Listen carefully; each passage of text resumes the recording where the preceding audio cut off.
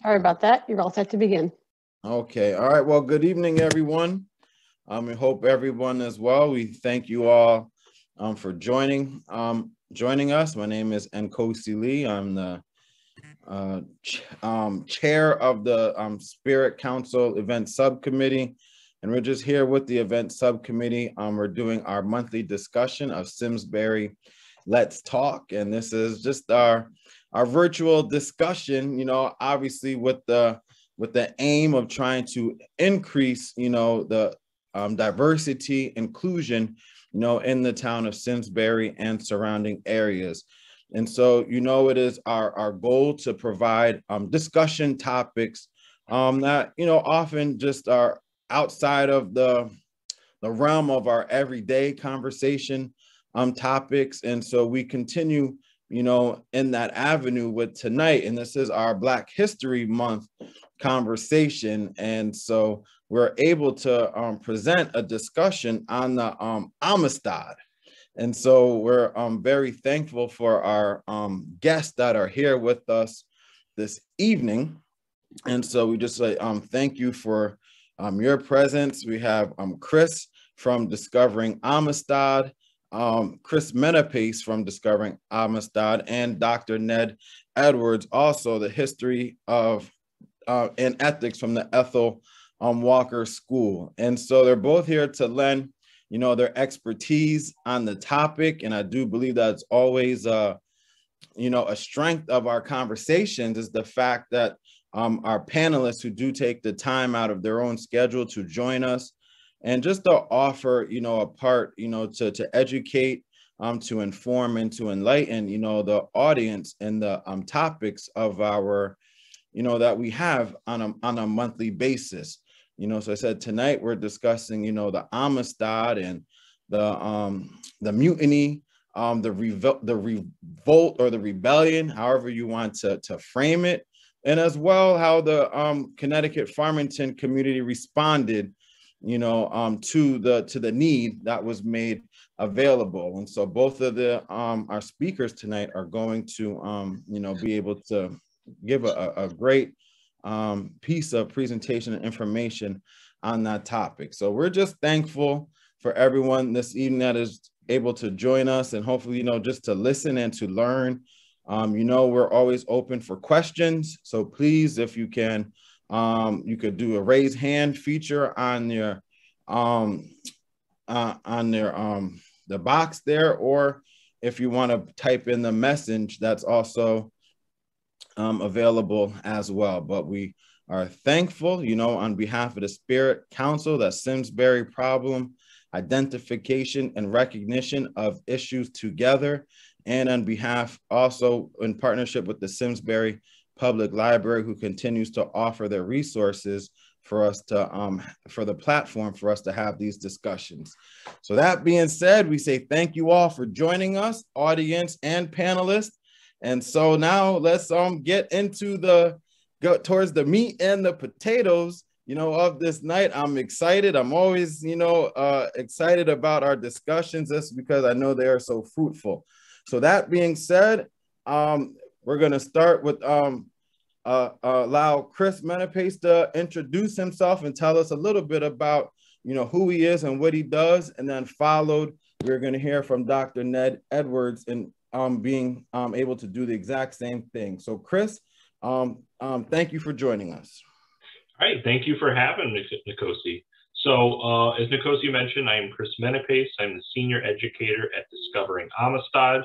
We own and operate what we call our floating classroom, which is the recreation um, Amistad vessel that I'll talk more about uh, a little bit later. But as an educator, I'm very visual, uh, so I brought a PowerPoint with me to just highlight uh, the story of the Amistad in a more visual way. Actually, I have shared in the wrong way. I want to make sure I share sound. Go. All right. So what I'm basically presenting to you is like a shortened version of what our Chris, if you don't mind, Chris, is before you get started, just allow I'm um, Dr. Edwards just a chance to introduce himself. Oh, I'm sorry. Yeah, go ahead. We'll, we'll go into your presentation. Not a problem, but thank you. No, quite all right. Uh, I'm Ned Edwards. I'm uh, currently a, a teacher and program director at the Ethel Walker School. It was my great privilege to be the senior minister of the Congregational Church in Farmington for 16 years. Um, the, the Farmington Church has a, a distinguished history um, with Amistad and the, and the story, which I'll get into tonight.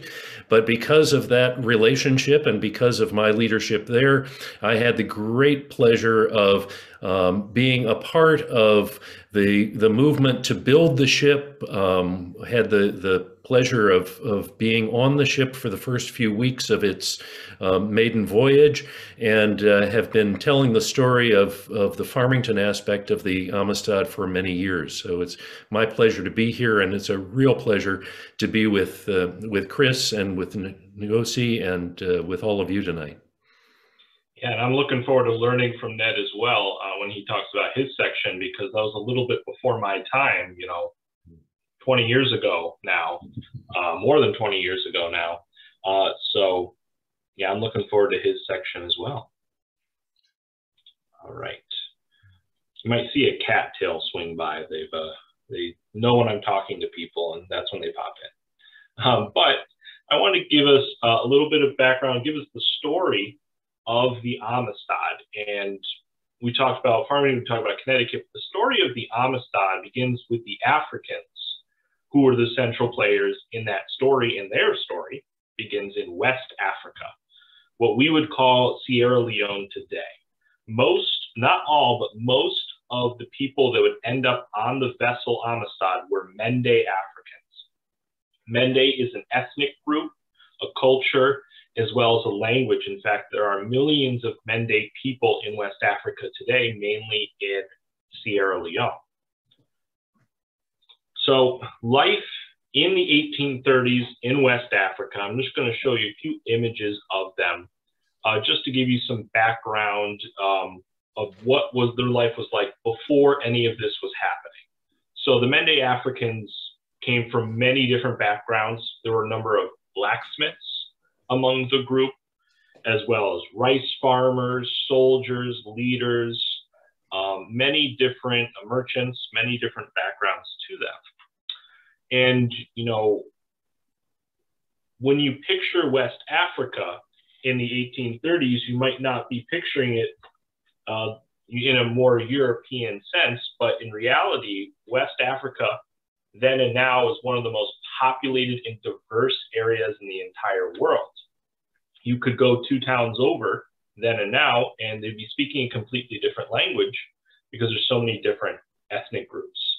Um, and so trade was very vibrant. You see this little marketplace here, trading of uh, food and merchant goods. You actually see different structures here, uh, African and European structures showing that trade was vibrant in West Africa with European and American merchants beyond that of slavery. It's not something that a lot of people talk about. For example, you see this European umbrella with this woman in front. European products are very prized in uh, West Africa. And uh, West Africans were very much looked at as quality rice farmers as well. And so because of how diverse and how much you know, mercantilism was happening, they would have a cultural process called a palaver. This was a meeting between two groups of people without a shared language or culture. And this was very instrumental to the background of the Mende Africans because they would have to be doing that throughout this story, even with their, each other. Mende was the most common language among them, but not everyone of the, of the Amistad Africans were Mende. And they also had something else called the Poro Society, which I'll begin to talk about a little bit more later. But in essence, it was a, it is and was a secret society uh, of male leaders. And there's actually, still exists today, as well as its female equivalent, the Sande Society. I was in Cincinnati last year and they had a really great collection of Sande uh, masks, art masks that they make. They're very prized for that. And unfortunately, when we talk about West Africa in the 19th century and beyond that, we need to talk about slavery. It was unfortunately a very common thing uh, occurring in this time. And the main thing I want to highlight in this section is the processes of dehumanization that the kidnapped Africans would undergo. One thing of note in 1839, uh, when this story begins, the international slave trade is illegal. Internet or countries across the world, the United States included, have agreed to outlaw the slave trade. That does not mean slavery was over, just the slave trade. By 1839, I believe the only major country in uh, the Western world to abolish slavery was England, and they had just done it. So, after being kidnapped, um, the thousands and, of course, millions through time Africans would be put into something called coffle. Coffle is defined as a line of animals, prisoners, or enslaved chained and driven along together. You can see this imagery here that I try to highlight the similarities between the coffle on the top and the coffle at the bottom. And you see men, women, and children in this coffle being marched towards the coastline where they'd be sold to slave ships. Another process of dehumanization, this process of taking the humanity away from somebody, was something that sounds pretty innocuous, which is a health inspection. In reality, many of the Amistad Africans specifically mention this as one of the most dehumanizing parts of their experiences, where the slave traders would look at their hair, their eyes, their teeth, height, weight, and age, all of these things to determine how much this person, this individual was worth as a piece of property. So this is where the price was given to that individual. Um, and really, again, taking away that humanity to be treated as an object. From there, they were brought to a place called Lomboko. Now, I don't know if anyone here has seen the movie before, but you'll see one or two images from the movie. On the image on the left is an image from the Amistad movie by Steven Spielberg depicting a real place called Lomboko. Lomboko no longer exists, um, but was a slave trading hub where thousands, millions over time, Africans were brought to from the interior of Africa. Um, this place was run by that man in the white suit in the front called Pedro Blanco, a Spaniard. And he um, you know, ran this operation to illegally sell these hundreds of thousands of kidnapped Africans. So thinking of the Amistad Africans, the people will eventually make their way to the Amistad, the Africans here, about 500 of them, will be sold to a Portuguese slave ship called the Tecora. So before they're ever on the Amistad, they are on a Portuguese slave ship called the Tecora. Now, you may have seen an image like this before, um, where it shows the really compact uh, compartments that the slave ship would have. And I want to make a distinction of what a slave ship is versus what the Amistad is A slave ship was made for the specific purpose of transporting kidnapped human beings. A slave ship could carry five, 600 kidnapped Africans on board. And if you look on this image, you'll see hundreds of people, shoulder to shoulder, head to toe, uh, hands, neck, and feet sometimes chained, and chained in a line together. Um, and you imagine the world of COVID, how deadly these conditions would be. You know, there's no sanitation here. Um, they're spending probably 20, 22 hours a day in these conditions. So almost the entire day uh, like this. You know, the pandemic of its time was smallpox. And think of how deadly these conditions were. There are millions of victims of the slave trade, and millions of them did not survive what was called the Middle Passage. So the Tacora sailed from Lomboko and was going to Havana, Cuba. So those 500 Africans in, on the Tecora spent weeks in those conditions. And I want to show you a little interactive map. Does anyone see the, the new page here? Yes. Sometimes it doesn't do it. So I just want to quickly show this so you get an idea of the scale of the slave trade. Each one of these dots represents a slave ship. The larger the dot, the more kidnapped Africans were on board. The color of the dot represents the country of origin of the ship. I'm going to skip forward a little bit closer. We're in 1839 in our story, and you can see just how many ships there are every year. And it's around 1810 that the slave trade is illegal. As you can see, it does not stop. And in fact, it will start to pick up in just a moment. Um, when we get to 1839, one of these green dots leaving Sierra Leone going to Cuba will be the Tecora. And you see, it doesn't really stop until slavery stops. So the demand is still there for the white enslavers.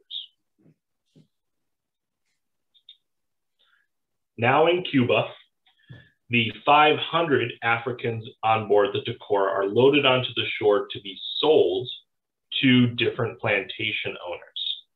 53 of those 500 Africans were sold to two men, Jose Ruiz and Pedro Montes.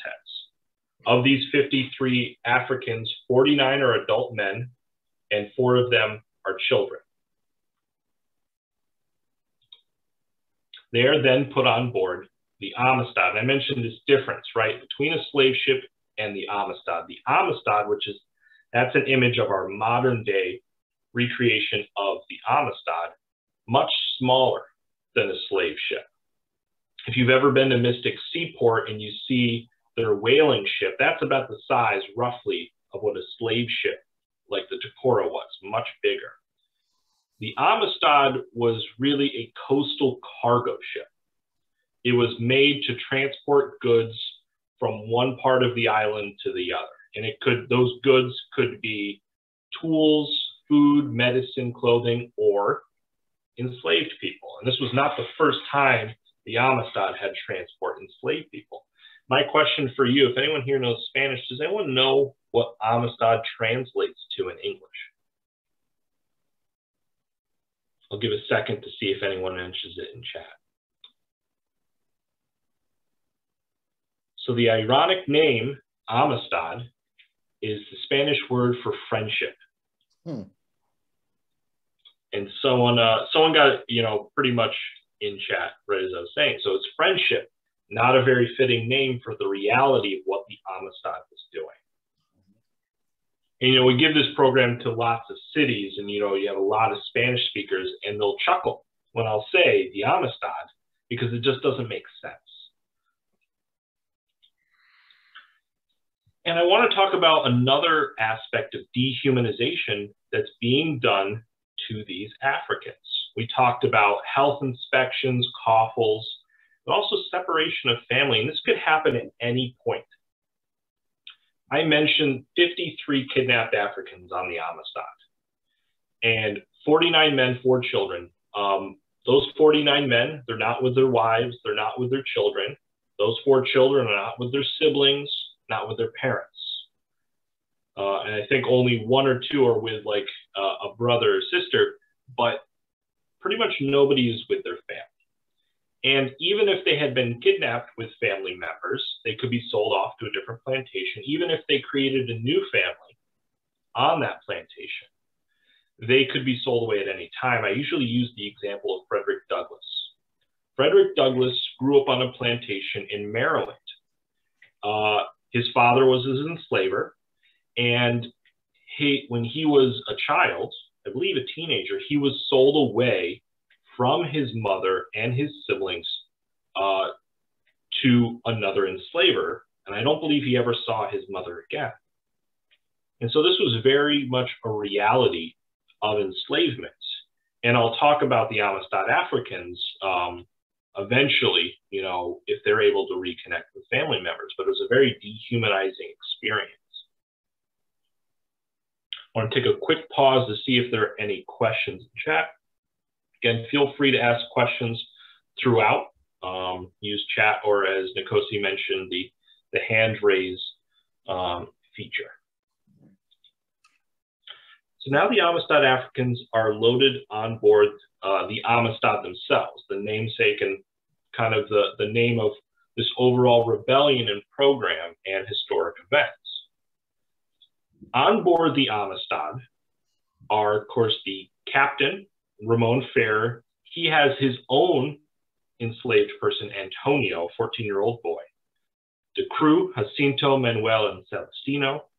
The two enslavers, Jose Ruiz and Pedro Montes, who had purchased the 53 Africans, and of course, the 53 illegally kidnapped Africans. And these drawings you see on the right are actual drawings of the Amistad Africans. Uh, they were taken while they were imprisoned in Connecticut. So these are the actual drawings and what they look like. You know, I'll point out a few, but uh, Kale, who will mention, Fuli, who uh, I believe is the one buried in Farmington. Uh, Kimbo, Margu, um, a number of people, is not all of them, of course, um, but there were 53 in total.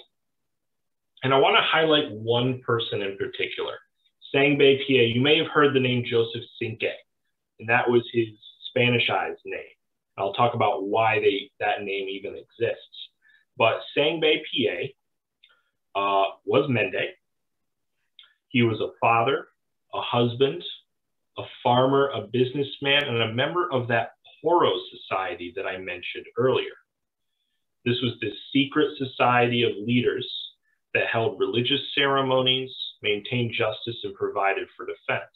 The reason I point this out is that Sangbe will be the leader of the Amistad Africans, and they look to him specifically because of his leadership experience back in West Africa. He was actually not the only member of the Poro Society on the Amistad, but he, um, as you'll see soon, he really led uh, the Africans. Now, the Amistad was supposed to sail from Havana, Cuba to Puerto Principe. That was supposed to take about three days. On the first night, oh, I'm getting ahead of myself, but in Puerto Principe were sugarcane plantations. Now, I don't know how much people know about sugarcane. If you know anything about, you know, American slavery, it's all about cotton, tobacco, things like that. In the Caribbean, it was sugar. And if you lived in 1839 and you ate or bought something with sugar, it is coming from the slave labor of these Caribbean plantations. And that's something I like to ask people. What can we think of that's like that today? Cell What can we think of that's like these sugar cone? Or would you say, Nkosi? Cell phones. Cell phones, right? Made in sweatshops in East Asia or Central America. Do do the mining for the the minerals in Africa and, Blood and diamonds, right? oh, And so when more you look at history, you kind of see these such stark similarities where, you know, it was so hard to get away from slavery. Even if you lived in a state like Ohio that didn't have slavery, if you bought sugar, well, you're handing money to an enslaver. You are still involved in this system of slavery. And of course, right, or, uh, sugar is one of many examples, right? If you had a cotton shirt, um, came from somewhere, the factories that you might be employed of in Connecticut that made cotton shirts, textiles, it's coming from somewhere. So this is try something I try to emphasize is this connection. Even if you did not own an enslaved person in 1839, you were connected to slavery in some way. Well, the Amistad Africans never make it to these sugarcane plantations. The first night on the Amistad, Sangbe Pieh finds a loose nail, is able to pick the lock on his chains. From there, he's able to free all 53 of the Amistad Africans. They're in the cargo hold, the crew's above decks. They haven't been found out. Before they just launch a rebellion, uh, they sit down and they talk and they think out how are we going to do this?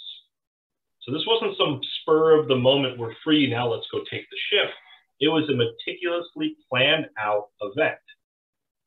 For one, um, they thought, well, the crew of the ship has guns. What are we going to do? Well, if you're familiar with sugarcane plantations at all, sugarcane grows like bamboo. And to cut it down back then, you had a sugarcane knife, which was basically a machete. Well, the Amistad captain thought he was smart. Like, I'll, you know, I'll transport these uh, enslaved people to the sugarcane plantation and I'll sell them some knives, some sugarcane knives. Well, he left that in the cargo hold next to the kidnapped Africans. So the kidnapped Africans armed themselves with these sugarcane knives. And, you know, it was nighttime, so let's, let's launch our attack now. And we're able to take control of the vessel. Uh, not without violence, as you can see by this famous portrait of the Amistad Rebellion. Many of the Africans had were veterans of conflict, uh, and like Sangbe, and so armed with these sugarcane knives, it was actually the captain of the ship, Ramon Ferrer, that opened fire on the Africans first.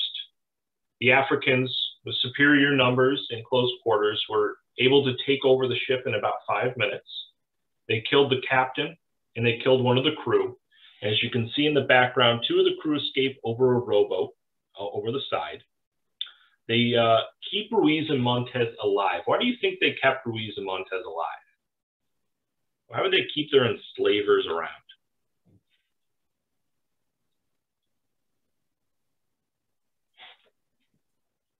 Somebody's got to steer the boat. Somebody's got to sail. The uh, Mende land at that point was very interior. It was not really a coastal place. None of the Amistad Africans were sailors, and they were smart enough to know what they didn't know, and that was sailing. So they kept Ruiz and Montes alive to sail them back to West Africa. So Sangbe had noticed on the Tecora that they were sailing away from the rising sun. So he knew they were going west the whole time on the ocean. So he instructed Ruiz and Montes head towards the rising sun, head east back to West Africa.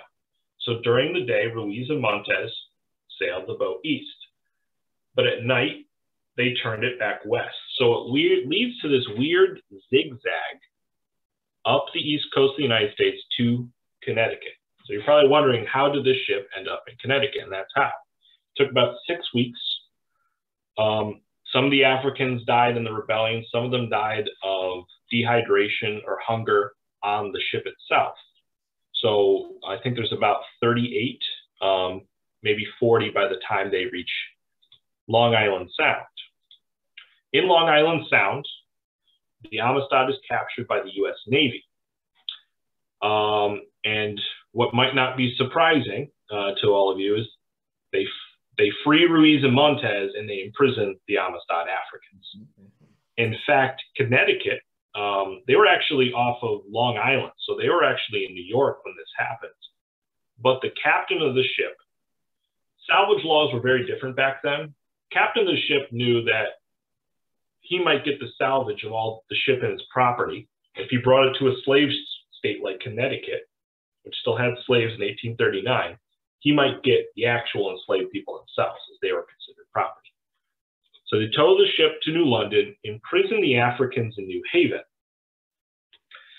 And this is where that kind of next leg of the story begins, uh, this court case system. So have you ever seen the movie I think it's right around, uh, they started the rebellion, but really concentrate on the court cases. Let me get a little bit into the court cases. And my question for you, why do you think uh, Montes and Ruiz lied about where the Amistad Africans were from? Because of course, Montes and Ruiz didn't say, hey, we have these illegally kidnapped Africans. They go to the authorities and they say, these are Cubans See that man? His name is Joseph Cinque. So they Spanishizers names. That's why Sangbe Pieh is called Joseph Cinque. They have these fake documents saying that they were, you know, Cuban enslaved Africans, not African born, because again, the slave trade is illegal, but slavery is not. So it's at this point, the Amistad Africans have to strategize how are we going to win our freedom again? Because they've already won it once and then they were imprisoned again. They think about recruiting allies, and those allies were abolitionists. Uh, some examples were Dwight Janes and Lewis Tappan. Dwight Janes was the first man on the scene, actually was able to see the ship come into New London. Lewis Tappan was kind of the money of the operation where he was able to use his wealth to hire a lawyer for the Amistad Africans and publicized the story uh, of their plight in newspapers around the country. This was really a national news story. Has anyone here been to the old State House? See a few nodding heads. Um, how do they know they had allies in the U.S.? A good question because there's this language barrier, and I'll get into that in a minute. Uh, but it, we can really say it was thanks to Dwight James. Dwight Janes, when he sees this ship, he actually is able to get on board and very quickly sees what's happening. And this, these are clearly Africans who have been illegally kidnapped. So he really notifies the abolitionists uh, in Connecticut and gets them to rally around and meets with the um, meets with the Amistad Africans. So he's really the one that connects everybody together. But if you've ever been to the old State House in Hartford, Connecticut, it is where the some of the Connecticut trials were uh, happened. And in fact, the room is still uh, mostly preserved today. So you can actually go in the room where these next trials occurred. But the question of the court cases comes down to one simple thing. Where are these black men and children from?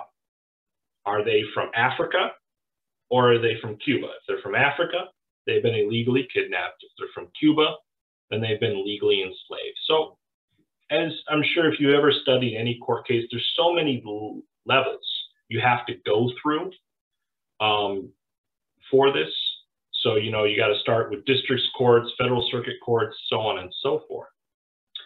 Uh, so, Connecticut is where those first trials took place. And of course, there's actually multiple trials charging different things. But the simple fact is they're trying to figure out where are the Amistad Africans from? this is a movie depiction of that scene, but there's a language barrier. The Amistad Africans actually spoke many languages amongst themselves, but English was not one of them. And the lawyers and the judges do not speak Mende. So they have to come up with a way to break this language barrier. And the um, abolitionists and the Africans enlist a man named Josiah Willard Gibbs. He was a linguist professor at Yale, and he was the Africans were able to teach him how to count from one to 10 in Mende. He and some colleagues then go to the docks of New York City and begin to shout from one to 10 in Mende.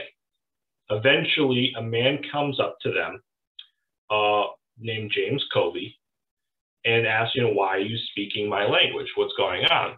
He has a pretty interesting story himself. Covey is Mende, so the same background as most of the Amistad Africans. He, of course, speaks Mende, he speaks English, and he his story was very similar to the Amistad Africans. He had been kidnapped from his home in West Africa, put on a slave ship, endured the Middle Passage, but unlike the Tecora that successfully made it to Cuba, the slave ship that he was on was captured by a British anti-slave patrol ship because the British were actually sending out ships to stop the slave trade. So James Covey is rescued by that slave ship, joins the British Navy in the fight against the slave trade. So that's how he knows English. That's how he knows Mende. And his ship, the HMS Buzzard, is docked in New York City. So he's already down for the cause of fighting against slavery. So he readily agrees to be the translator for the Africans, and the abolitionists. And now in these court cases, Sangbe, Grabo, Fuli, all of these people can speak through a translator contradicting the stories of Ruiz and Montes, saying, you know, I'm from Mende lands, I am not from Cuba, my real name is Sangbe Pieh, things like that. And they actually win the Connecticut trials uh, pretty soon after that court case. But politics gets involved? You know, it's not uh, just the letter of the law sometimes. President Martin Van Buren is getting pressure from the Spanish government, from Southern plantation owners, and Van Buren's also up for reelection. And he knows that if he allows the Amistad Africans to go free, it will hurt his chances to win the Southern Democratic voting bloc. So he instructs his attorney general to take this case to the Supreme Court. Um, if there was time, I'd show you a video. I know I don't want to eat up on uh, Dr. Edwards' time, but uh, a really cool scene. No, I'm going to show it because it's only like 30 seconds. I'm going to show it. Ned's nodding it. Do it. Were they born in Africa? So this is the movie depiction of actually the Connecticut trial, but I use it with the students for the Supreme Court trial because it's the same verdict. So this is the movie depiction in a much more dramatic way than I can say the uh, what the courts decided. But this is the movie depiction of the final case of this Amistad versus the United States. Were they born in Africa?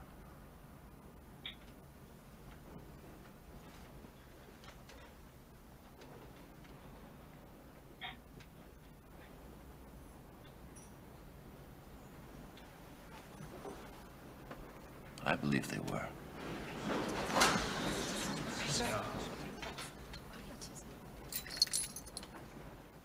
As such, Her Catholic Majesty's claims of ownership have no merit. Neither, of course, do those for salvage made by Lieutenants Meade and Gedney. I hereby order the immediate arrest and detention of Senors Ruiz and Montes by federal by federal marshals on the charge of slave trading.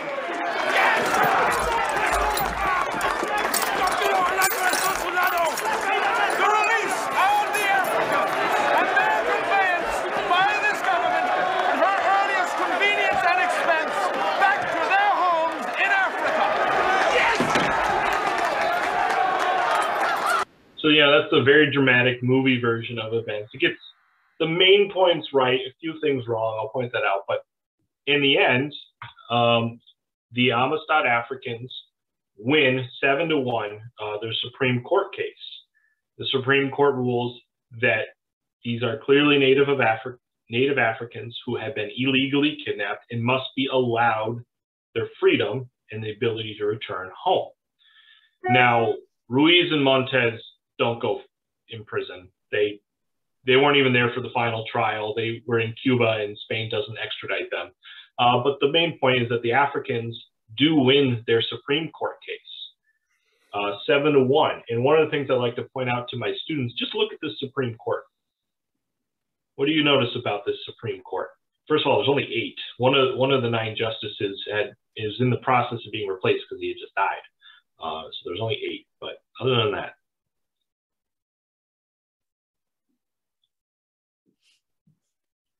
It's all all white men. all white men and multiple members of the Supreme Court were enslavers themselves. Slave owners. So it was a pretty shocking uh, ruling for the country. They were not expecting the Supreme Court to rule in favor of the Amistad Africans because of all of this bias going in there. It, it was a rare victory. It's really the first victory for the abolitionists on a national level. But it is a victory. But I noticed I used my words very carefully. It allowed them to go home. It did not give them the means to go home. And I, I'm sure uh, Dr. Edwards will talk about this a lot more, but they needed to, the Africans, the 35 surviving Africans needed to raise money to go home. Court didn't give them a penny, didn't give them the ship, nothing. So they actually had to stay, I think it was another uh, eight, nine months in Connecticut raising the money for their return home. But in 1842, so full three years after the initial kidnapping, the Amistad Africans will board the Gentleman, the ship, back to West Africa. Of course, that is not the end of their story. Um, doctors will talk a little bit more uh, about the church's role in all of this. But a quick few things that are happening here is one, uh, this is really when their freedom is returned because even living in Connecticut, they had to follow the rules and customs of the country and were not treated as equals. So really returning to West Africa is when they can rehumanize after all of these dehumanizing things have happened to them. Some of them are able to return home to their families. Berna, one of the Amistad Africans, finds his mother and is then able to reconnect with his wife and children. Sangbe, on the other hand, unfortunately, returns to his village and finds it destroyed. His family most likely victims of the slave trade itself. So some people are able to have happier endings than others. Sangbe uh, did start a new family. His descendants still live today. Some of them um, in the United States, and some of them actually came out to the ship when it was being built. And uh, last thing I want to mention are some of these long-reaching impacts of the Amistad. As I mentioned, this was kind of the first big victory for the abolitionists. 1839, the abolitionists were not a huge movement. And so this really internationally famous story, they've won. They've won. And of course, the Africans uh, have really won it. But when it comes to the impacts in the United States, this leads to a lot of growth and uh, influence to the abolitionist movement. Although it would take another, you know, I'm doing math very poorly in my head, but take, take until 1865 to slavery really end in the United States. 22 years. 22 years, thank you. I my degree is not in math; it is in history. So, and uh, one of the really cool direct impacts it has is another rebellion that mirrors the Amistad almost exactly. So when the Amistad Africans are touring across the northern United States to raise money for their return home, they are in Philadelphia at one point. And another man uh, is in Philadelphia who had just escaped slavery in the South. Um, I remember his last name was Washington. I'm now blanking on his first name, but he had just escaped Southern slavery goes to Philadelphia to enlist the help of the abolitionists in going back and rescuing his wife. They say, no, you're just going to be kidnapped again. Um, it's a fool's errand. He goes back anyway. He is kidnapped again. He is put on a domestic slave ship called the Creole, uh, where it's just transporting from one southern slave state to another. Well, when he was in Philadelphia, he had heard all about the Amistad and actually witnessed this very famous portrait of Sang that I showed earlier and was very moved by the Amistad story and their successful rebellion. On board the Creole, he decides to launch his own rebellion. He actually is able to succeed, and unbeknownst to him, his wife is actually enslaved on the same ship. So he's actually able to rescue his wife as well. And this is 1841, right at the same time this is all happening. So he's very motivated and influenced by this Amistad story.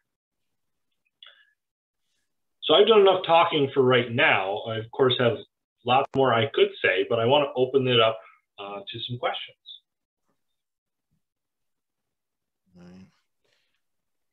I would say, you know, Chris, thank you for, you know, such an in-depth um, presentation on the Amistad. I know you say you say you could go, you know, a lot further into it.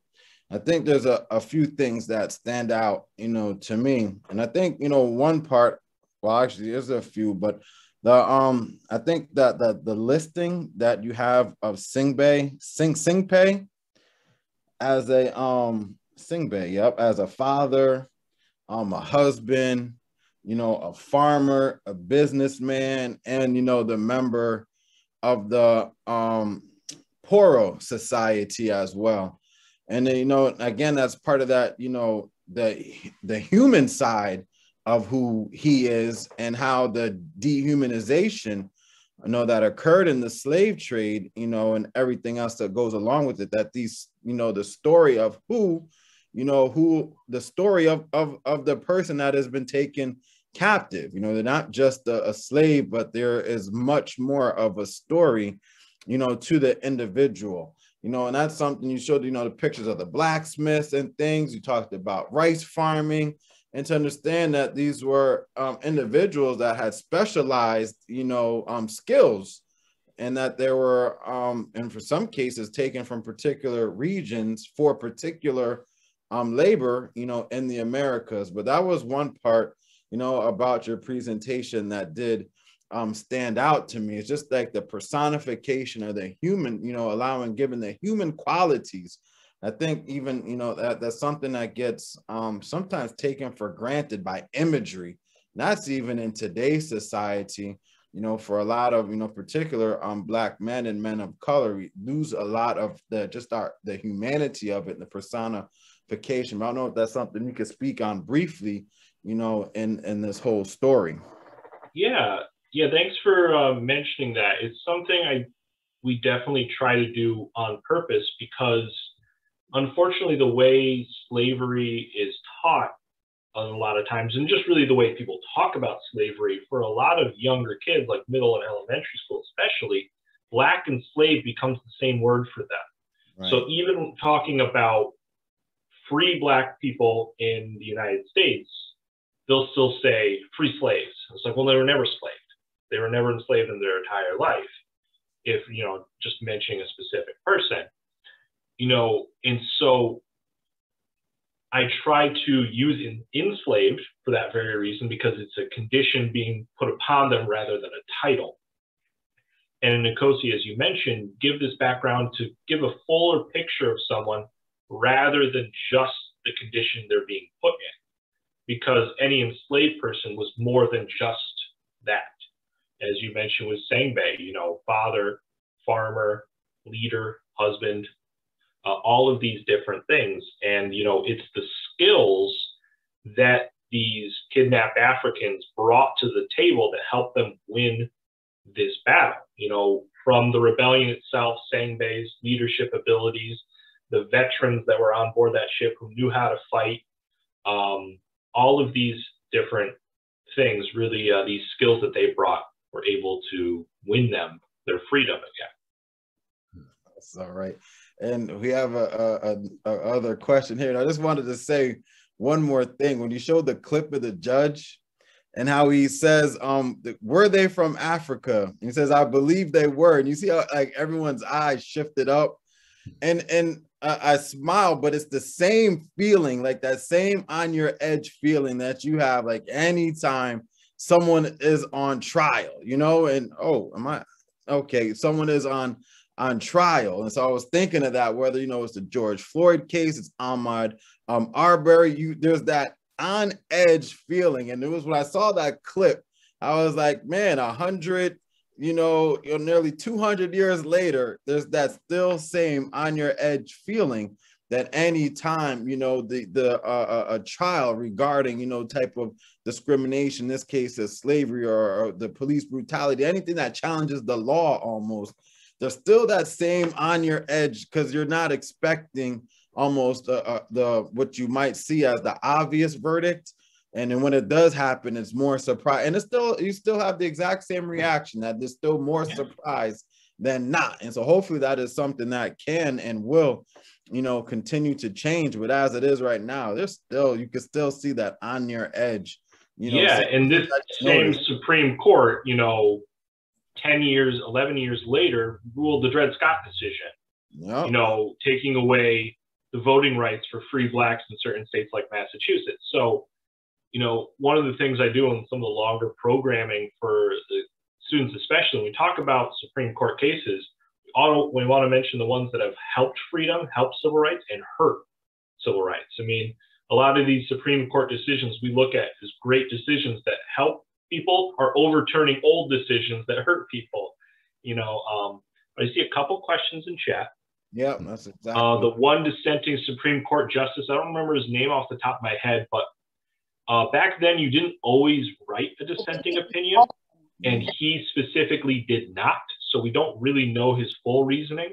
Right. But the Attorney General of the United States was trying to argue that some trade treaty with Spain overruled this ban on the slave trade. It wasn't a very good reasoning, as it, you know, seven to one in Supreme Court terms is is a very overwhelming victory.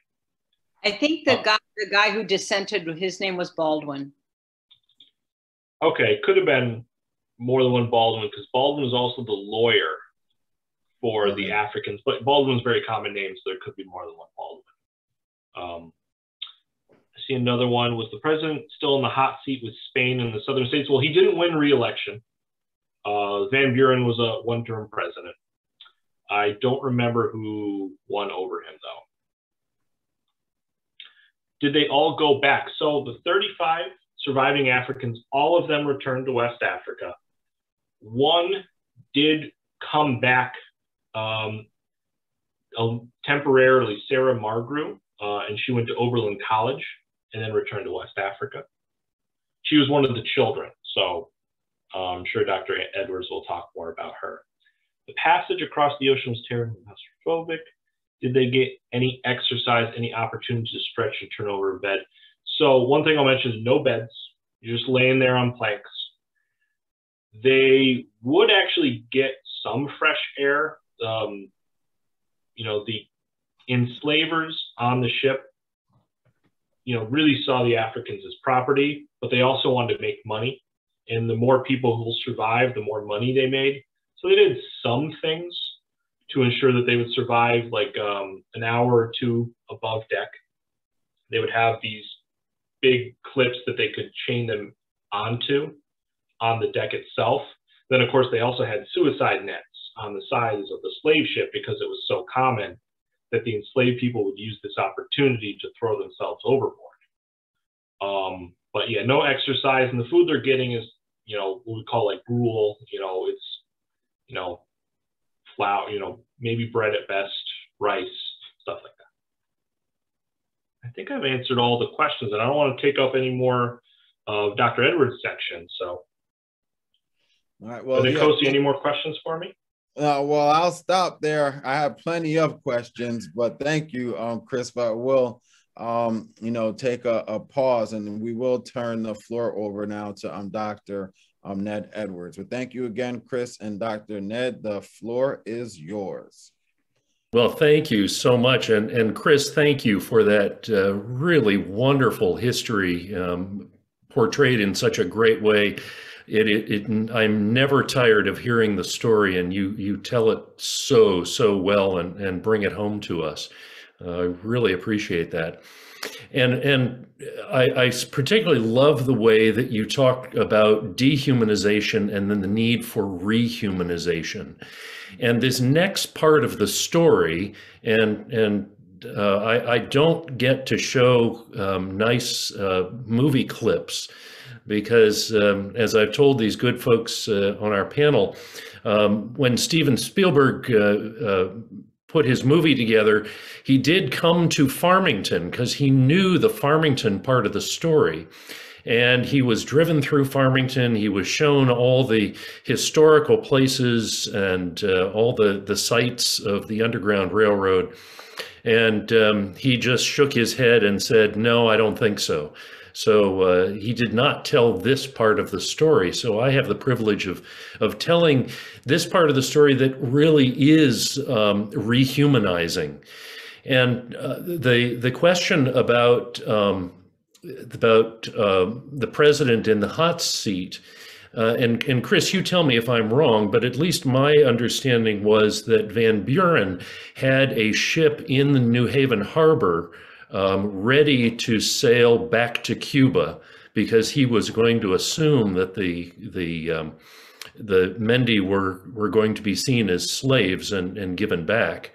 Um, sounds that, right to me. Uh, but when they were when they were declared free, um, he withdrew that that um, that ship, and they were um, in need immediately of of being able to live and being able to find a way to get back. And and the Amistad Committee in New Haven, which had been um, so active and so helpful to them up to this point, really went into to high gear to find a place where they might be able to live where they might be able to work where they might uh, be protected and cared for in such a way to rehumanize them uh, and be able to earn money to be able to get back to sierra leone and uh, because Lewis Tappan on the Amistad Committee was very, very well connected around the the entire state, he knew that Farmington was a,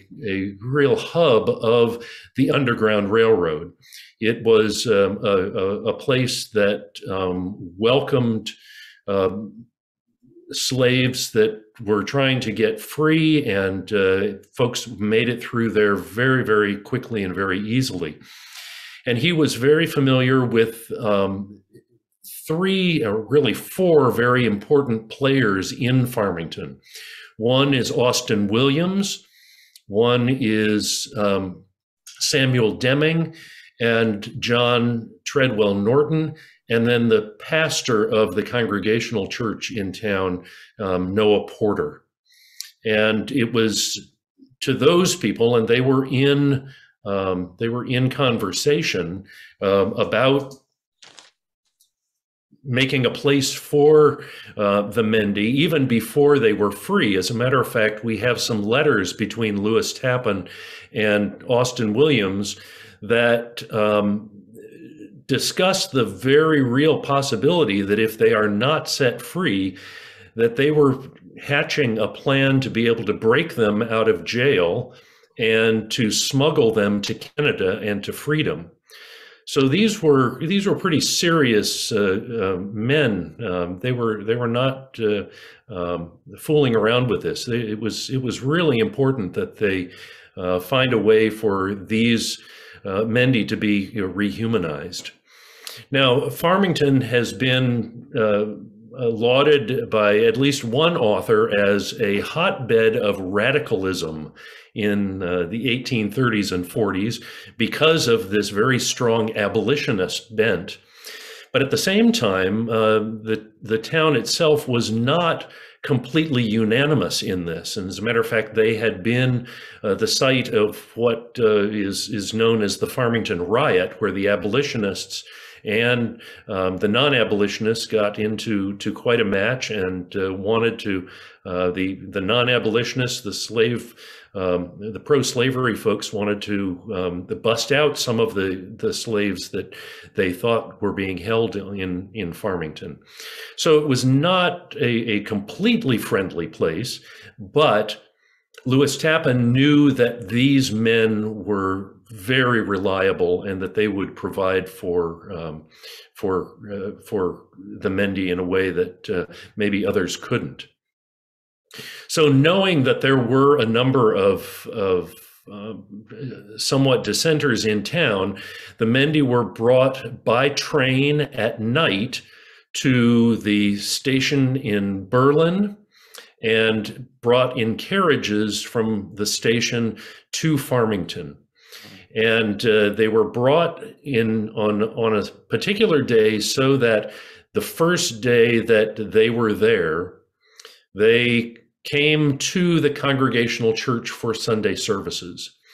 And as part of the rehumanization, which was so important to the pastor Noah Porter and to these other men, Noah Porter had Singbe Pieh and the, um, I believe Fune and um, and Margru, if not others, sit in his family pew, a place where uh, Africans had not sat before. Uh, even free blacks had not uh, sat in his pew before.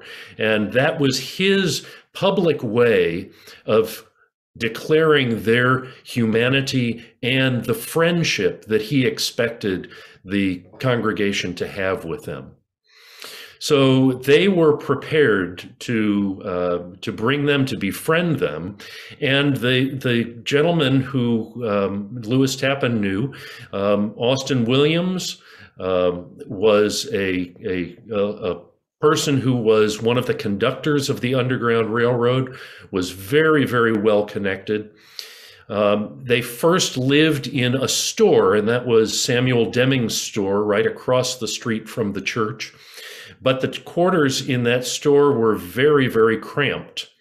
So Austin Williams spoke, and, and this was one of the great aspects of uh, this relationship that built, was that in in those days, the ways in which churches dealt in mission terms with people from other countries was a very usually a very paternalistic um, white savior type of uh, of attitude.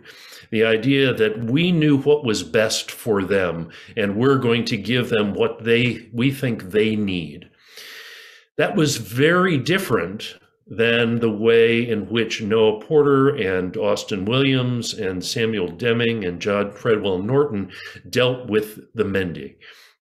They knew their intelligence, they knew their ability to negotiate, and everything became a discussion and discovering what it is that the Mendi needed and wanted. So they wanted a place to be able to sleep on their own. So Austin Williams built for them a dormitory on Main Street. Uh, it's now, and, and you can still go there. It, it's it's uh, it's a private residence, but uh, you can see it from the street. It was made into a carriage house later on, but a place that um, was available to them that they could call theirs, that was private, they um, were fed meals made by the people of the church in uh, in Deming's store, and um, you know, even though they had been in the United States for three years, uh, they were not really fond of the cooking that was being done for them by the women of the church. Now, we might argue with that, some of us today, but uh, they they they had some some tastes that they wanted. So, in discussion, how could how could we help them to be able to uh, to cook and to have some food that would be much more palatable and much more familiar to them. Well, Farmington is named Farmington for a reason, for all the farming that is done there. So, just on the other side of the Farmington River, which was just down the street from Deming's store and from Austin Williams' carriage house, they gave them 15 acres of land where they could do their own farming and growing of their own food and allow them to to cook and to um, feel as though they were contributing and uh, and to live and and and work and do what what it is that uh, rehumanized them. Um, as you pointed out uh, so well chris that um, Singbe was a farmer, and a number of them knew farming, so that was a, a, natural opportunity for them. In that uh, Deming store, they also were um, taught English, reading, and writing, and um, were given time to uh, do gymnastics on John Treadwell Norton's front lawn. Um, they were very, very uh, um, agile and uh, loved to to exercise and to do gymnastics. They would put on shows for the children. And one of the ways in which they raised the money for um, hiring a ship to take them back to Sierra Leone was that they would go down to the Farmington River and get on a canal boat. That canal boat would sometimes take them one way to Plainville, sometimes uh, the other way up here to Simsbury, and then even farther on to the Connecticut River, where they'd get onto um, another boat and head up to Northampton. And they would um, do a number of things. They would recite. They would uh, read scripture. They would sing. They were amazing singers. They would do gymnastics. And uh, every time that they they did this, the church where they were performing. It was usually a church. um, would take an offering, and um, that offering got put into the uh, the the Amistad Committee's uh, coffers and set aside as a way of helping them raise that money for uh, for their passage back. So they spent um, a number of, of months, nine months in Farmington, helping and and befriending the uh, the folks around. It was not always sweetness and light. There were those incidents where some of the townspeople would uh, have a little too much to drink and want to come down and and pick a fight with these Africans. And um, Singbe, as a as an amazing leader and as a cool uh, headed person, was usually able to uh, dissipate some of that uh, that situation.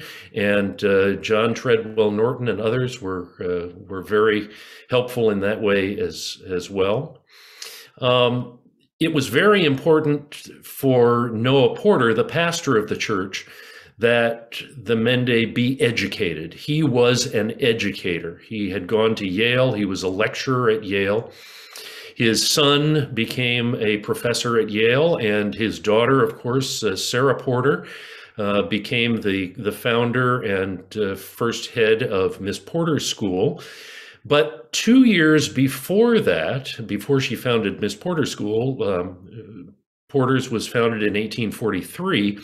In 1841, Noah Porter agreed to and wanted to bring Margru into his home because he knew that Sarah Porter had a penchant for wanting to teach. And this was um, something that uh, he thought she could be particularly good at with, with Margru. So uh, for those nine months, Margru had a personal tutor in Sarah Porter, and Sarah Porter did a wonderful job. When it was time for uh, for Margru to choose a, a an Americanized name, as sometimes is done, um, she chose her name to be Sarah Margru after Sarah Porter. And as was pointed out uh, earlier, when she went back to uh, to Sierra Leone, she went to the mission school that was started by the missionaries that went back with them. She continued her education, then came back to the United States, uh, went to Oberlin College, and then went back to Sierra Leone and became a teacher at that uh, at that missionary school.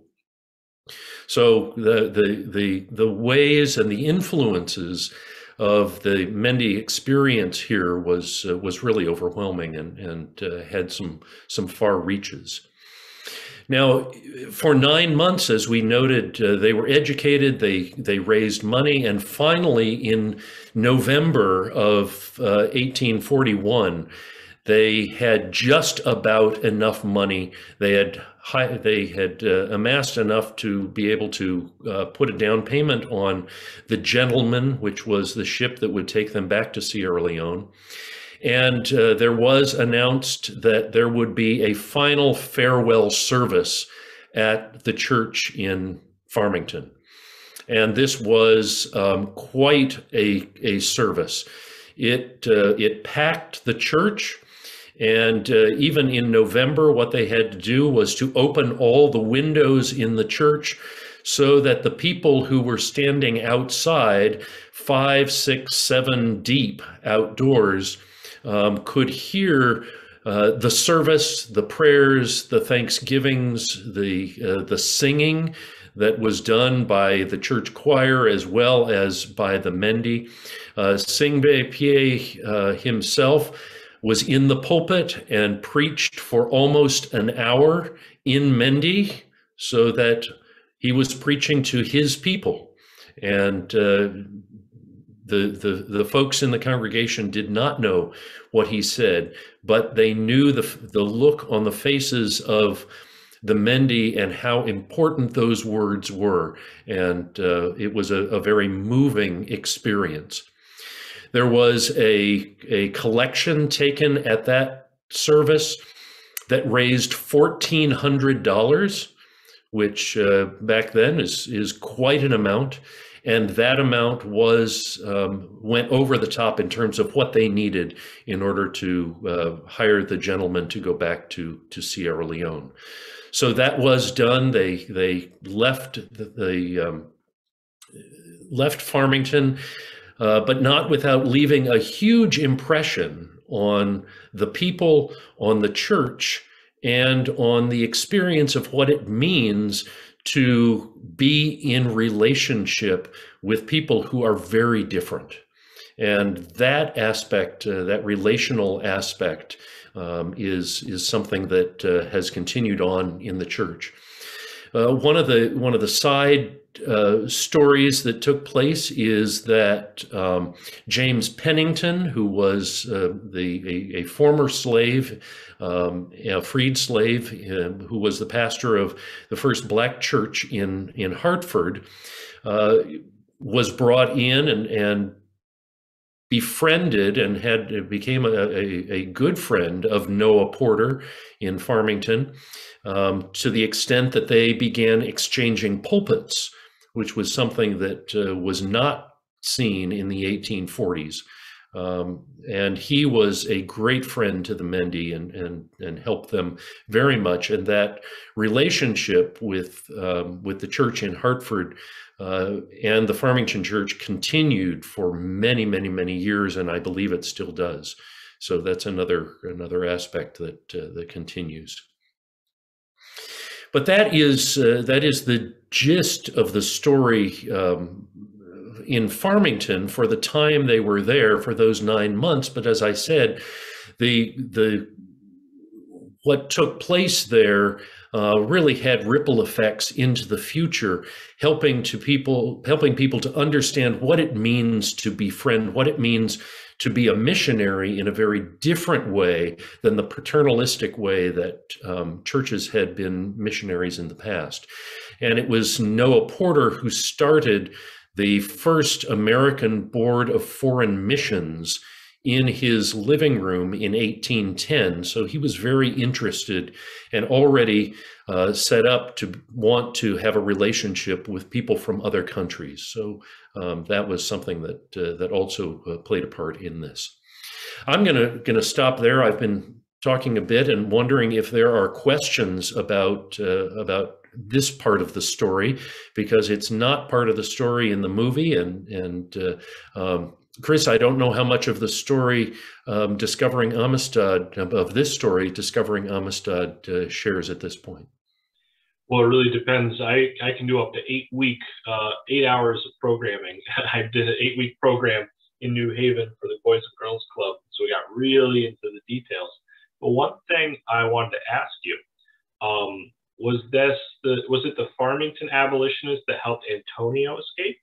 Uh, just to remind people, Antonio was the uh, enslaved of the captain, Ramon Ferrer, of the Amistad. And Ramon Ferrer was killed during the rebellion, and the court ruled that Antonio was legally enslaved because he was not part of that Amistad African group.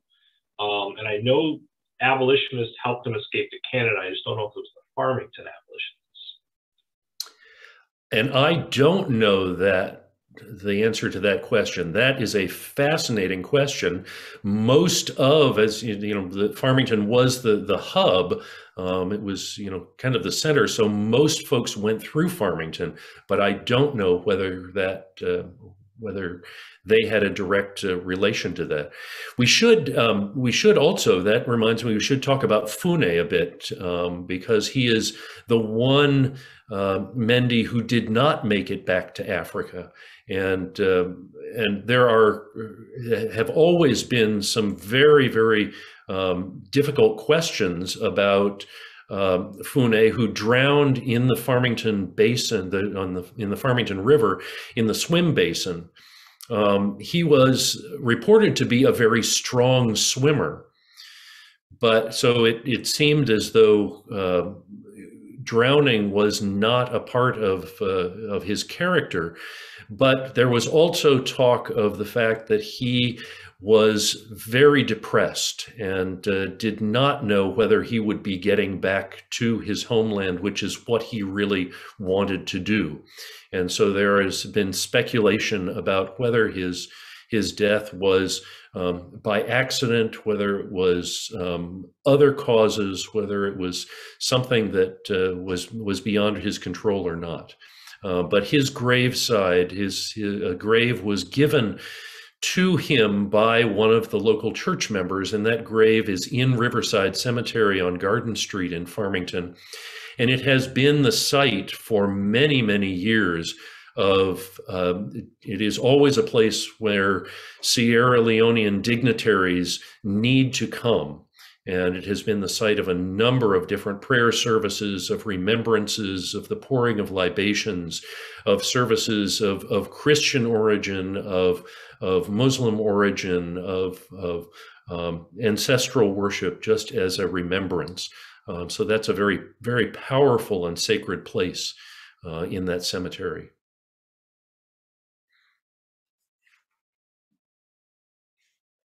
Part of the story, um, Dr. Edwards, where you were um, having those primary source letters of a, of a, a potential plot, you know, on how to, you know, break the captives you know, out of, you know, prison because guilty was going to be a death sentence, That's you know. Right. So, and, and hearing that, and it also, you know, and, and speaks to the, I guess, how complicit the, you know, the government was also in the, you know, in the slave trade as well, where the, you know, the three fifths compromise, a variety of state, you know, compromises to the, you know, compromise the fugitive slave law of 1850. But just, you know, hearing that part about that potential, you know, plot of how, you know, it's like a, a underground resistance is, is going on and the ability, the desire to say, hey, we're gonna um, take on the government, you know, as a potential remedy, you know, on how to do right, you know, in this situation. So you're obviously sharing a lot of inside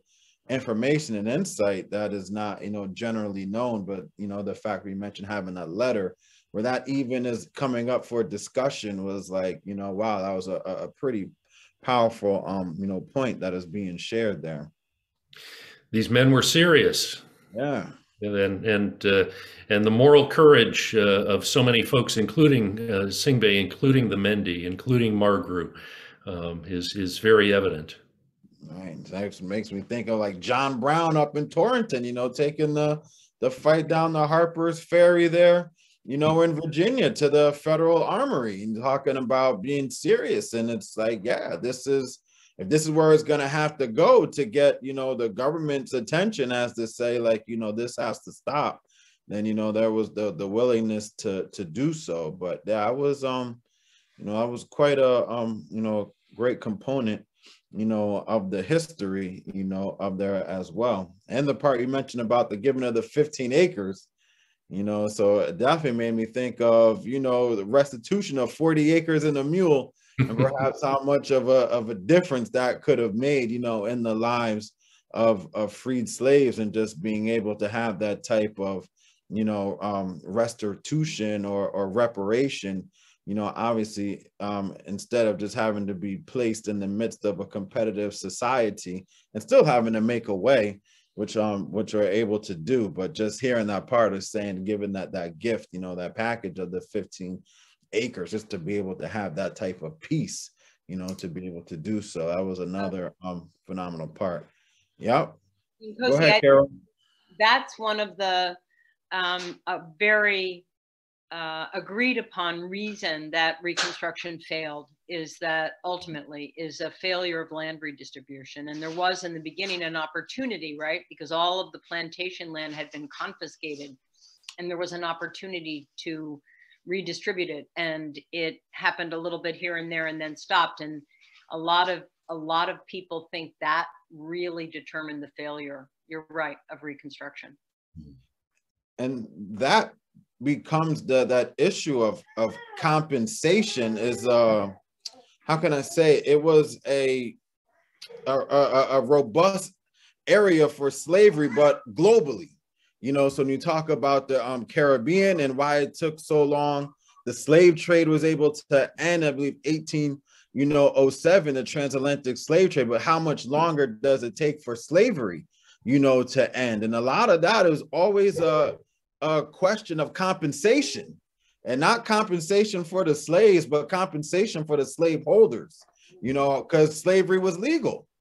And so now, how are they going to be literally be compensated? Okay, if you want to end slavery, then you know Britain just finished paying off the loan that they had to take out, you know, to pay back, you know, the um slaveholders, you know, and to agree to end slavery pretty much in the Caribbean islands. And so that point of compensation, nothing going to the slaves was a or the descendants of the slaves was a, a, common you know theme. And so the point that that america didn't do any different there's not anything out of the norm from any of the other you know countries that participated you know in the slave trade as well. So whether it be the british the dutch the you know the spanish the portuguese that issue of compensation was a, a major a major thing the, so the freed freed men at the time freed women were just pretty much left, you know, to keep that hierarchy, the social hierarchy and economic hierarchy remained in place all over the um, Western hemisphere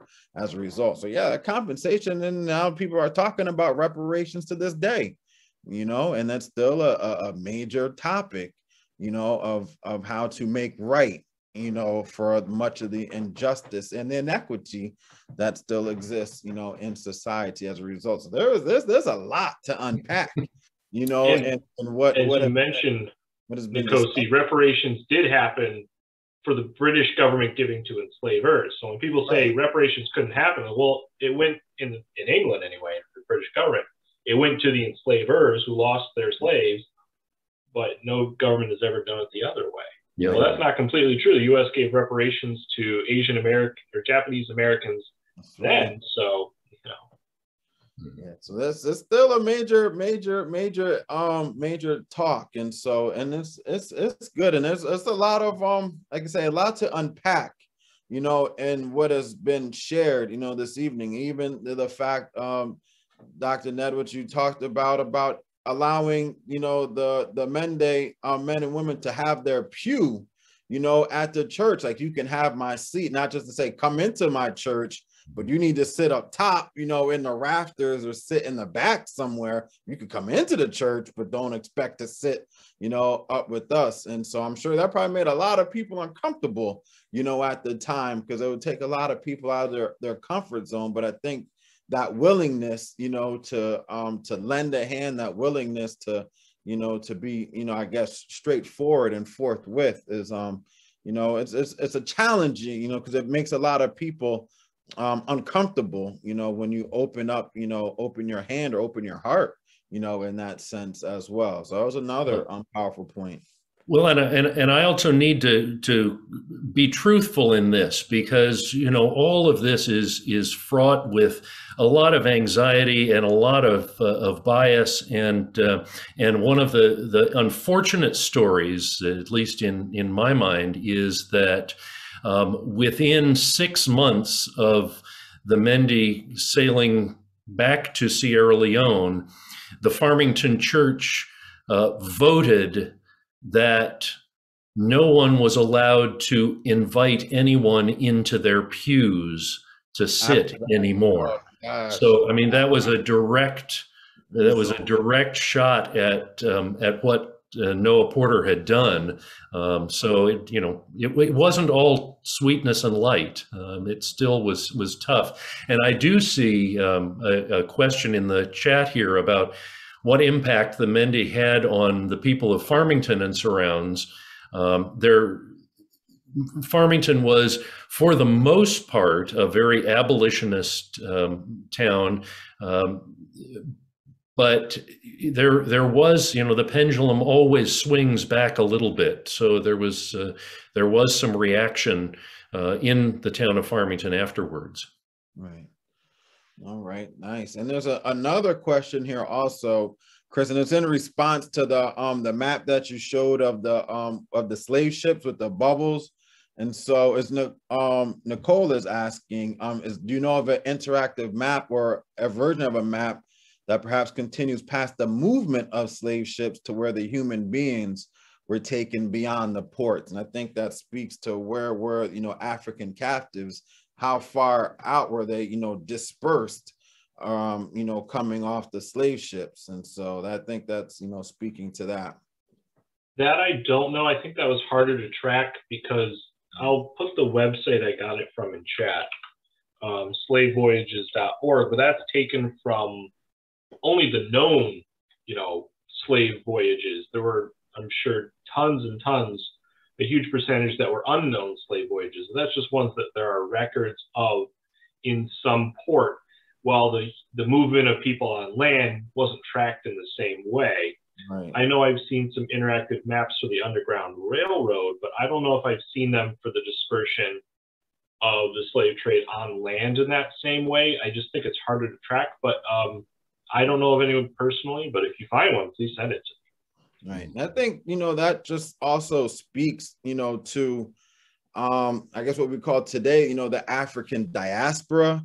So, you know, um, I like sports, and so sometimes, like I said, when I'm watching um, soccer, and I see like the Ecuadorian team, and you see how many obviously people of African um, ethnicity heritage are there, so it lets me know okay, there was a um, slaves were brought to Ecuador. Okay, I see Colombia, and you see that, and so I think it kind of speaks to that you know, point. And so um, David Ortiz, you know, Dominican, you know, Republic or, or Puerto Rico. And then obviously you have, you know, what was happening in Haiti, but that's all over the, the Caribbean.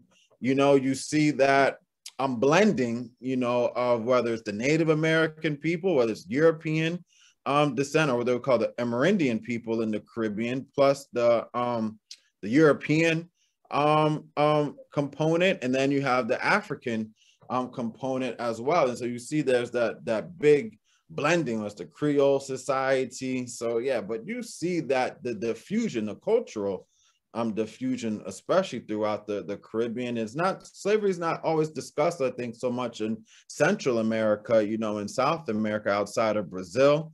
But um, you know, you see people from Guyana and Suriname and you know, French um Guyana all the way you know to to to Belize. And you see but you just see the the the um the the the, the amount of, of mix and color. And so you know that there's been a, an infusion uh, of blood from a variety of different places. And so I don't I guess to say we don't always grasp the the the the breadth you know this how broad and how big the slave trade truly was. They'll, that bubble map, that interactive map, really puts a bit of a, a, a eye to it. As I said, this is really how many ships, you know, were crossing the Atlantic, you know, with cargoes of 200, 300, 400, 500 people going to South. Oh, and, and then it, it's it, it's pretty eye opening. And I think that's probably where that question comes from. It's very eye opening.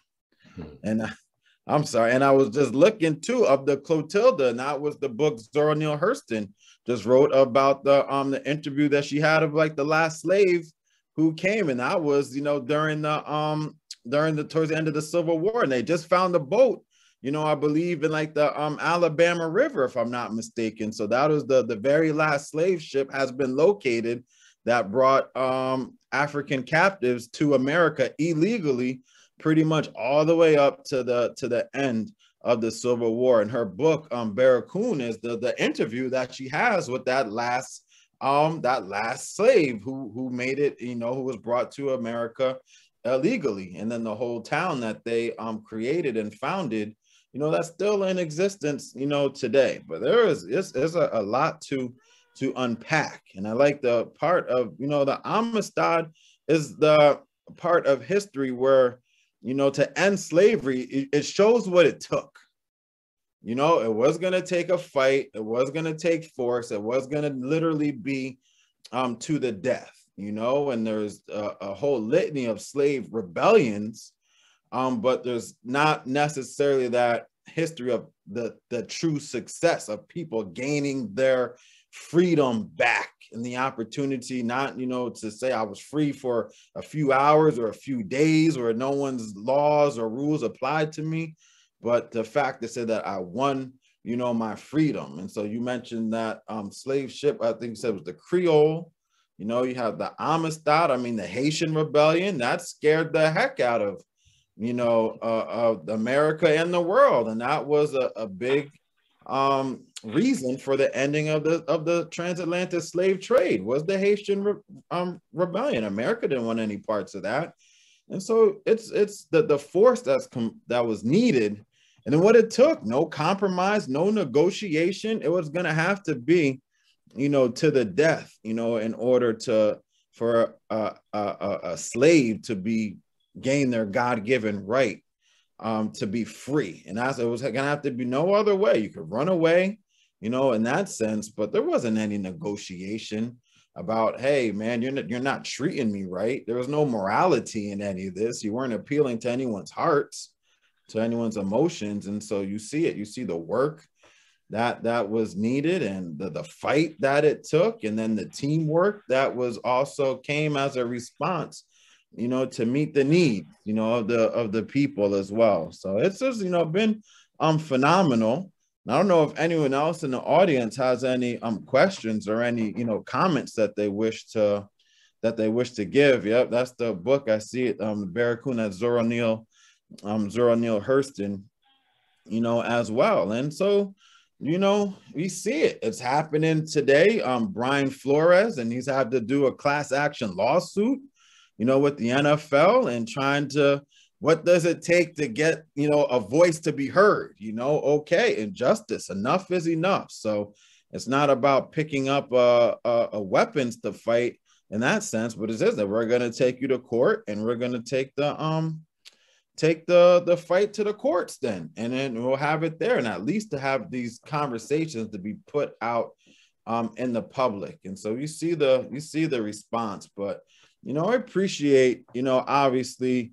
um, to uh, Dr. Ned and Chris coming to, to share with us um, this evening. Obviously, it's a, a very historically um, relevant topic. And anytime you want to talk about freedom, anytime you want to talk about injustice, anytime you want to talk about teamwork, you know, and what it took to, um, you know, for um, the Amistad men and women and children to be um, set free, to win their freedom, to fight for their freedom, then to legally win their freedom, and then to have to endure to be able to try to make it home and then still have their own, you know, variety of situations occur there as well. But this is a, a, um, a portion of Oh, Bill asked if Sengbe's, Sengbe's sermon has ever been translated into English.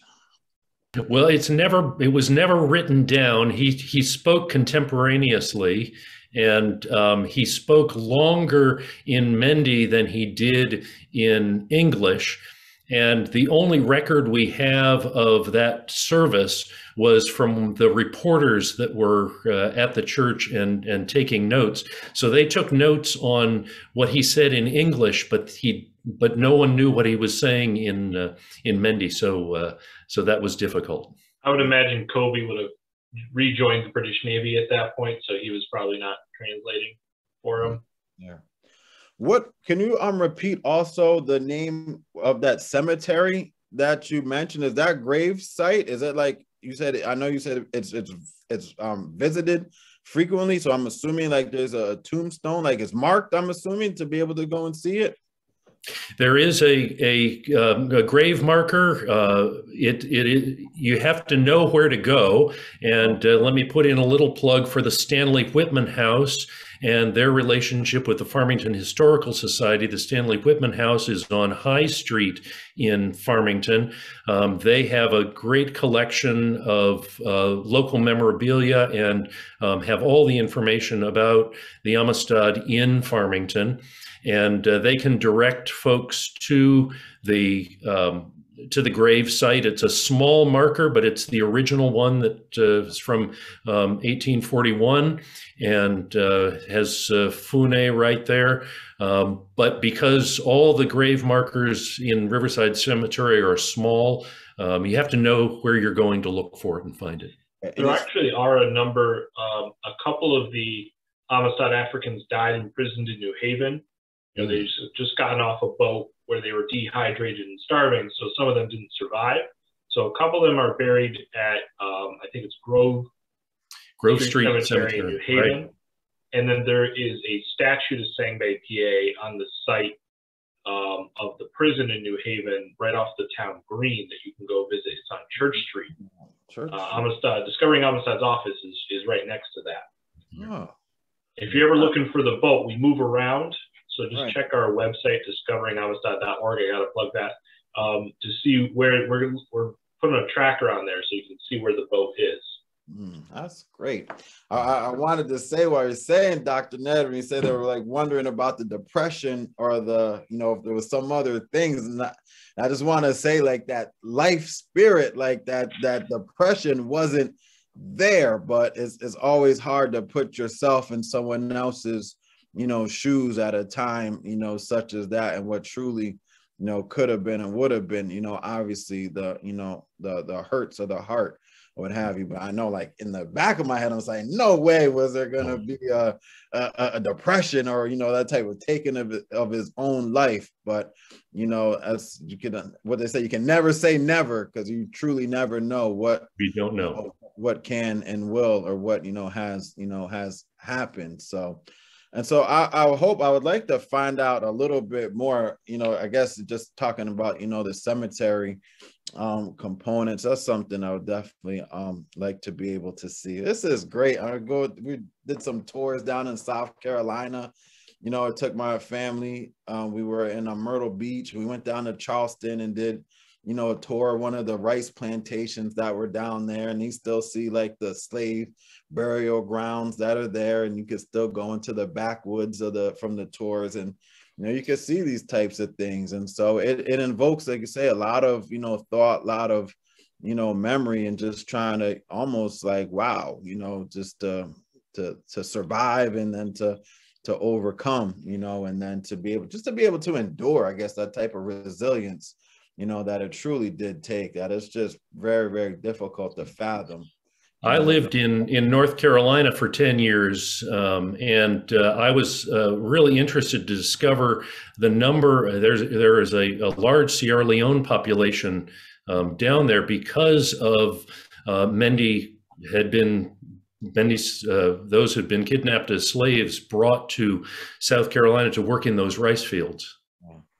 Yep, and that's and it, and it speaks to the expertise almost because even to make rice work, you know, to get it to grow, it takes a lot of expertise, you know, to be able to do that. So talk about from the rice, talk about to the um sugar, you know, and things, just the the expertise that was needed to be able to make, you know, these crops, cash crops, you know, successful and to keep it, you know, to make it profitable. And so, you know, it's a lot that is um spoken about because again, the the humanity of the of the captive, you know, because the slave is the economic term, but the the humanity of the of the captive is often you know overlooked. You said it too, like when you said black is synonymous with a slave. I think you said it right.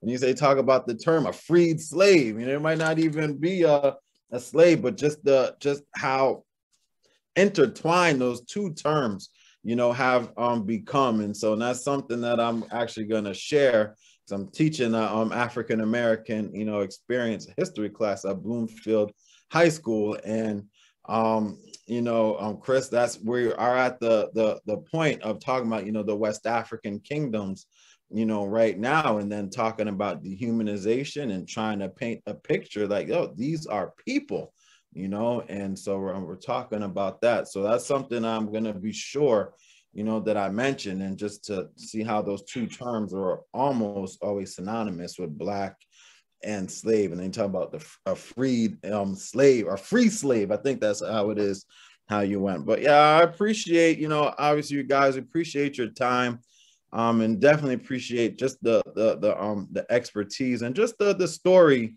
you know, of being able to put so much more of a human face, you know, to all of this. So I was um, just for myself, you know, it's very um, just beneficial. Um, we see that, um, yep, Lindsay shared the resources for further info on tonight's um, topics. So it's a great list.